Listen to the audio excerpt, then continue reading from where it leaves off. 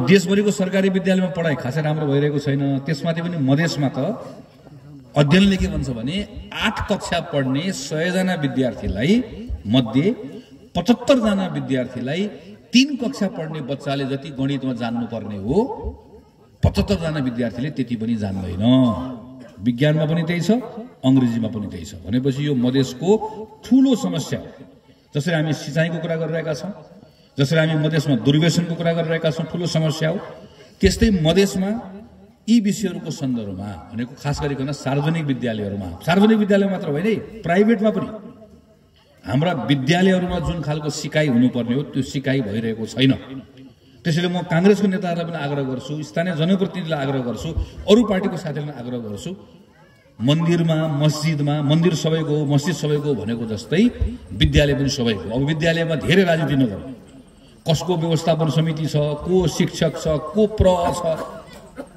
यता धेरै नअल्मलिएर हामी सबै मिलेर हाम्रो विद्यालयको हाम्रो हामीले विद्यालयको अवस्था बदल्नु पर्नेछ त्यसैले नेपाली कङ्ग्रेसले मधेसमा जसरी हामी माथिबाट काम गर्छौँ सिँचाइ लगायतका क्षेत्रहरूमा काम गर्छौँ तलबाट तपाईँहरूले काम गरेर खास गरिकन समुदायको ठुलो संलग्नता चाहिएको छ यहाँको विद्यालयको यहाँको पठन पाठनको अवस्था बदल्नको लागि।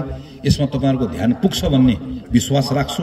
केही कामहरू तपाईँले अराउनु भएको छ यहाँबाट तपाईँले आज बोल्नुभएको सबै कुरा म त्यहाँ बसेर टिपिरहेको छु।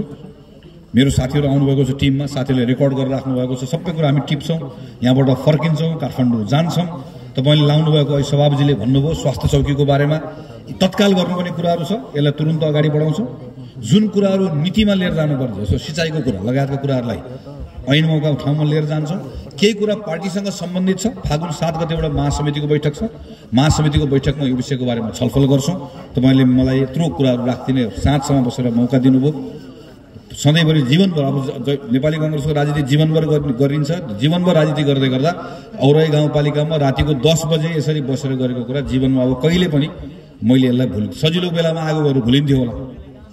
तर आज रातमा आएर यत्रो साथीहरूसँग बसेर गरेको कुरा मैले कहिले पनि भुल्दिनँ। तपाईँहरूको माया लिएर जाँदैछु। तपाईँहरूको साथ सहयोग रहिरहेको छ। विश्वासको साथमा मेरो आफ्नो कुरा टुङ्ग्याउँछु।